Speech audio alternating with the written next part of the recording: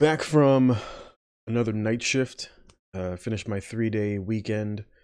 Uh, the hospital, I would say, is very different uh, in terms of the type of sick people that are coming in. But this video isn't about what's going on in the hospital. This video, of course, is going to be about the future of women in America. And recently, uh, you know, I did a video not too long ago um, talking about AOC, who is a politician here in New York. She covers the Bronx and Queens as a U.S. New York representative, right?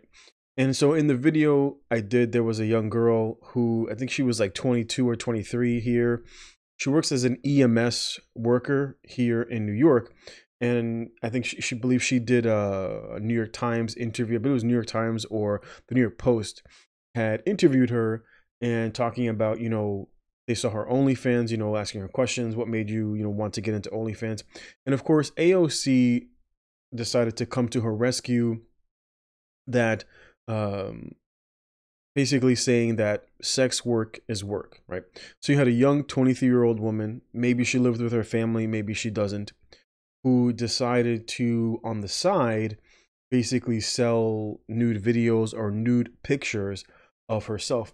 And of course, AOC as a politician, and this is actually very important when you realize when you start to see politicians start to do this, it's because they want you to become want it to become normalized in your viewpoint, right? So you have these very left-wing sort of politicians who will try to normalize this and even though it should be I wouldn't say it should be something that is that should be looked at as shameful but more should be looked at as the direction that society is going and that more than likely women especially young hispanic women like this will suffer because of what is to come. And as a result of what is to come will more than likely or have to earn their living via prostitution. And this is what it is. There is no reason to refer to any of these sort of organizations, like, for example, OnlyFans, as anything but prostitution. Now, I've spent quite a bit of time traveling, and typically in a lot of countries that are close to Venezuela, um, you will come across, like for example, in you know, Colombia, in Cuba. This is a, something that you see quite often. Buenos Aires, that I've been to, and you will see quite a bit of very young, beautiful women, even though they may have some sort of an educated education, prostituting themselves. And it's almost normal, especially in like places like Cuba and in Colombia, because of the collapse of nations around them, especially the socialist country of Venezuela, where many of the women who had degrees, many some of them that I had met or in articles that I have read where many of these women were career women. They were women who, you know, they were nurses, they were doctors, they were lawyers. Uh, they had different types of jobs, but when their country collapsed, they were forced to become prostitutes. Now, of course, this isn't something uh, that men typically can do. It's something typically you'll see women do it. And I've met women, you know, when I went to Colombia in places like Cartagena, where there are a large number of prostitutes, typically in, like, for example, like if you were to go here, like I live in Manhattan, and let's say you were to go to like 42nd Street and you were going to go to like where all the fancy bars are, and basically on the outside of those areas, you'd see young women who are in who are prostitutes. You'd go to like for example, even here, um, when I went to Florida, and you'll go to like Coconut Grove area. But if you actually go to the clubs during the nighttime, you'll find prostitutes inside the clubs, inside the clubs and the bars in the bar areas. You'll come across women who are typically from places like Atlanta and they come down to Florida and they prostitute themselves. And this will become more normal. This will be the new normal for many young women here in America. And that's why you have individuals like AOC who are basically coming to the uh, like coming to the rescue, so to speak, of young women who are going to be doing this because many of you will be doing this in the future because of what's coming in, in, in America. And that's why things like, for example, um, OnlyFans, there's a New York Times article where it says OnlyFans that was founded in 2016 uh, based in Britain was has boomed in popularity during the pandemic. It says as of December, it has more than 90 million users with more than 1 million content creators, up from 120,000 in 2019. It says the company, the company declined um, comment for the article, and I would too. And so basically, obviously, the overwhelming majority of the people who are going to be who are on uh, OnlyFans are typically typically young women or women um maybe like celebrity women. There was like other women that were on that were on here who utilized it who utilized who were able to utilize the platform to make money. But because of the overwhelming number of women who are basically joining the who are basically joining the site it says there as the pandemic has devastated sections of the economy and most of the economic areas that have been devastated are typically areas where women work, which is like in entertainment, um, either in like movie theaters, restaurants, in places like here in Manhattan, where typically most of the restaurants, bars, um, the downtown area of what's it called, um, Broadway, like most of the people who worked in these areas in Manhattan is prim- primarily um, women. It's primarily women, overwhelmingly single women who lived here. When I first moved into the Manhattan, um, I believe it was like 60% female, 40% of them were single. and of course, that of course has the number has increased as I've been here I think, over nine years already. And so this is typically what you're going to see. You know, back in the day, they had things like um, like a back page. Back page was something that was very popular, especially here in Manhattan, where you had young women who were basically going to like NYU or Columbia University, and these women would sell themselves on basically on Backpage. It's basically like uh, I forget the name of the other site. I think it's Craigslist. Craigslist was another area, was another site where young women would post um, basically selling themselves for for money, right? Uh, either to pay for pay for school, etc. This will become very much normalized moving forward for many young women, which is why you know the, it, it talks about these areas. It says some have turned to OnlyFans to make money. The platform for selling, and of course they use the term explicit photos, it's nude photos, it's just prostitution. But of course, they want to try to label it in such a way where it's not viewed in a negative way. They don't want they don't want to utilize terms that of course will give a negative connotation but of course this is what it is right these women are going on there and they're basically prostituting themselves in some way shape or form uh, basically looking for money because many of the industries that they typically worked in, most government jobs. I did another video previously talking about most government jobs overwhelmingly, overwhelmingly, most of the government jobs um, were typically held by women. Uh, and for every one man that lost his job, 10 women lost their job when it came to uh, positions that were basically non essential. And that's typically because most men work in essential areas like construction, um, whether it's the fire department, police department, um, looking for like sanitation, etc. Most of these areas uh, are typically uh, manned in essence by men, right? Most uh, in medical in the medical field, most general doctors, and this is easy. Look up, look, look this up. I did another video on this. Most of the general physicians, most of your PAs in the hospital setting nowadays are typically women, but most of the subspecialties, like your surgeons, um, typically like your, your neurologist, most of those jobs are typically male dominated, and that's just the way it's been for quite some time. And it's, it's mostly because in terms of the spectrum of and the spectrum on intelligence, men are typically on the higher end of the spectrum when it comes to intelligence and so it becomes and of course typically when it comes to things like stem you know science technology engineering and math most of those are typically dominated by by men. And of course those are typically your um, jobs that are typically going to be essential for running for running an economy. And many of the areas that typically women most of the jobs that women held are typically not essential to maintain a country. And that's why during hard economic times, most of these jobs just end up getting basically chopped. And because of the dynamic of how things are now in America, where instead of people pairing up, uh, creating a family, living together, you have more individuals who are basically living alone. You have more women living on their own than ever before. And most people nowadays, especially millennials, are forced to move back with their parents. I believe it's like 50, a little over 50% of all millennials have basically been forced to move back with their parents, indicating that we are definitely living in hard economic times to come. And because most women typically, you know, the divorce rate is the highest it's ever been, the marriage rate is the lowest it's ever been, along with basically baby making, right? The population in America is basically not growing. And so there is a negative birth rate. So the death rate is higher than the birth rate. And it's been that way. It has nothing to do with the pandemic, which is why Joe Biden is basically inviting in all of these immigrants. And that's why he said for a part of his plan, he wants to nationalize or naturalize, I should say, uh, I, I, believe it's 11 million immigrants, right? So that's why you're seeing, you know, maybe that you haven't heard about it yet, but you will, where there's scores of Hispanic people that are basically coming from the South and they're basically working their way towards America because they're waiting for Joe Biden to become inaugurated. And then they're basically going to open the floodgates for a lot of these immigrants to come into the country, hoping to become uh, naturalized citizens.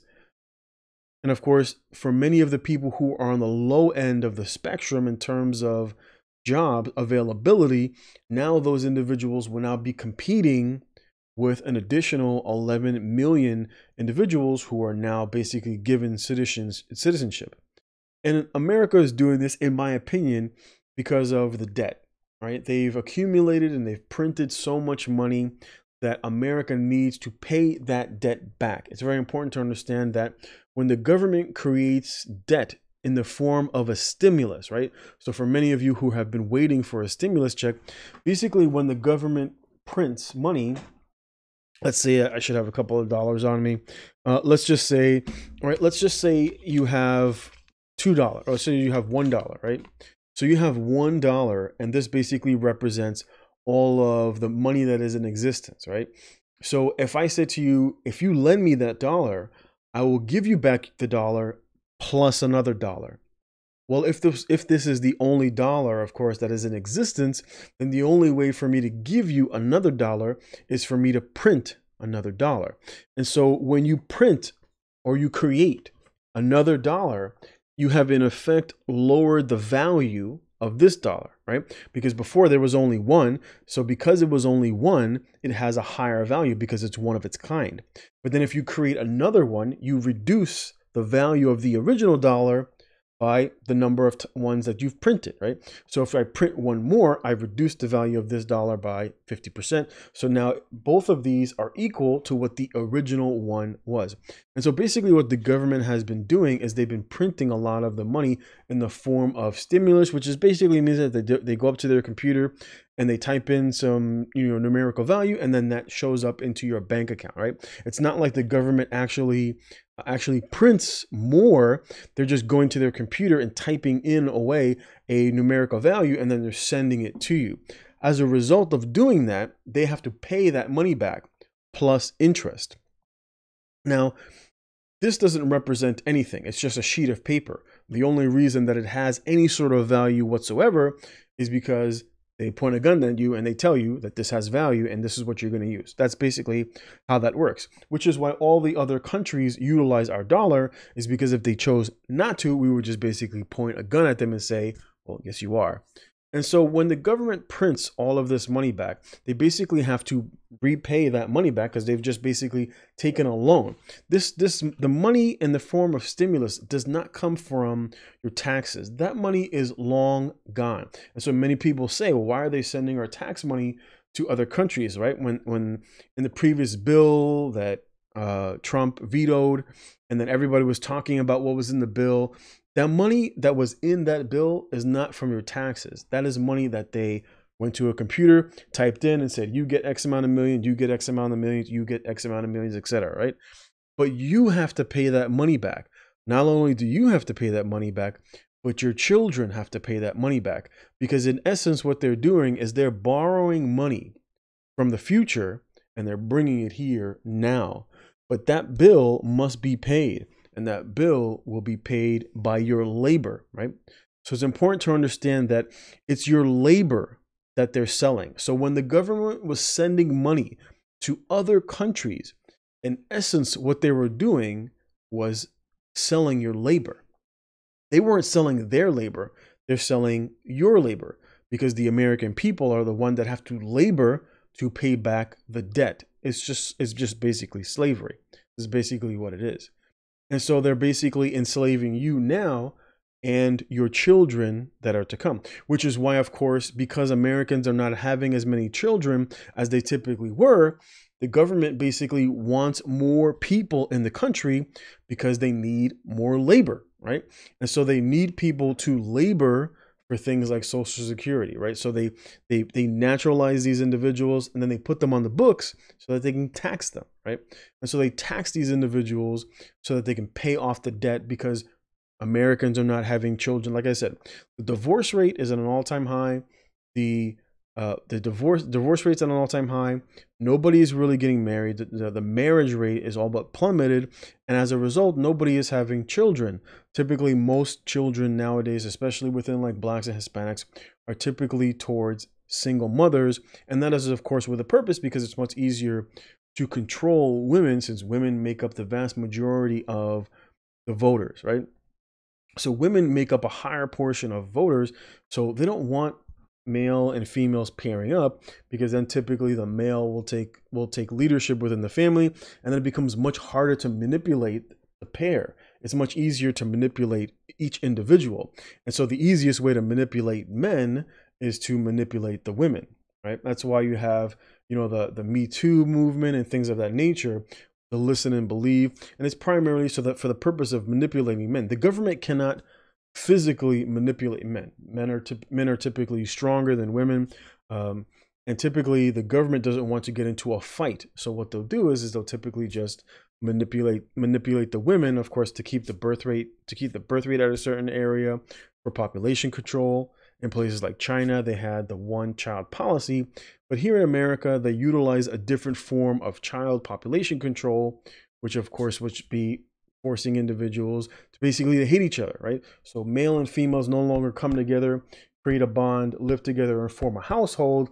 Now there's basically so much enmity between the two that they don't that they don't even pair bond anymore and create families. Instead, they have limited they have individuals living by themselves. They hook up, and once in a while, you, you might end up with a single mom. Uh, for the most part, many, and that's basically what typically what we have now. But from women going forward, because most of the people who are going to be coming here, most of the Hispanics that are going to be coming to America looking for to be nationalized under the Joe Biden administration are typically going to be men. Overwhelmingly are going to be men. Most of the Hispanic Mexicans that typically here that were individuals that were, you know, picking fruit or um, working in areas like landscape, those were typically Mexican. The ones that were working uh, in construction, typically Mexicans. And of course, though many of those individuals were taking jobs away, typically from Black Americans, because those are most of the jobs that they're going to be competing against. Typically, a lot of these manual labor jobs that are not necessarily require like long, long amounts of education, at least not in not in a school. And so, what will happen for most of these individuals is the government will give them some form of UBI. If you've been paying attention to Andrew Yang, Andrew Yang is basically uh, a politician, an entrepreneur. Um, but moving forward, he is trying to basically take over for De Blasio, and he is a communist. He is an he is openly a communist by his policies because anybody who espouses UBI is a communist, at the very least on the low level. So many of these individuals want to spread communism and so you know socialism. It's the same thing um, and they use different terms for it, like universal basic income, or they'll use terms, you know, like um, giving individuals, you know, like a minimum standard of living, like things of some things of that nature. For most of these individuals, is because they want the labor, but they're not really going to pay them any sort. They're not really going to pay them any sort of a wage, and it's just basically for paying back the debt. But the ones who are going to suffer, and I have no doubt that this is going to happen in America, where you're going to see rampant prostitution among young women to the point where more than likely the government will push to legalize prostitution. Um, if you haven't been paying attention, uh, what's her name? Kamala Harris was basically called out not too long ago because she didn't openly support prostitution. Of course, they changed the wording about sex work, etc. But the purpose, but that is the purpose. The purpose is, of course, to lower the standard, you know, make it so that, you know, used more flattering language um, so that women don't feel bad for basically prostituting themselves. And this is this is going to happen. I have absolutely no doubt. I've seen it in other countries, in many other countries where they introduce socialism or as a result of other nations who have socialistic practices. And then it ends up where the men typically are the ones out there working because most of the jobs are typically hard backbreaking work that women typically can't do for long periods of time. And what happens is is most young women end up prostituting themselves. This will come to america which is why you're seeing things like this gaining such popularity where they it, it went from just 120,000 people to a million content creators with 90 million users. I have no doubt that this will continue to grow as many of these young women like this who who of course need to make a living some way.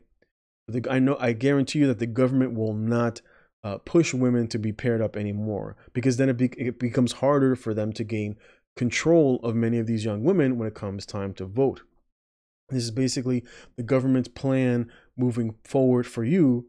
Unfortunately, you were asleep at the wheel, too worried about catching a cold, and they were busy trying to change change the nature of the game moving forward. Many of these individuals are going to be living lives like slaves, and many of these young women are going to turn to prostitution basically as their only way to support themselves.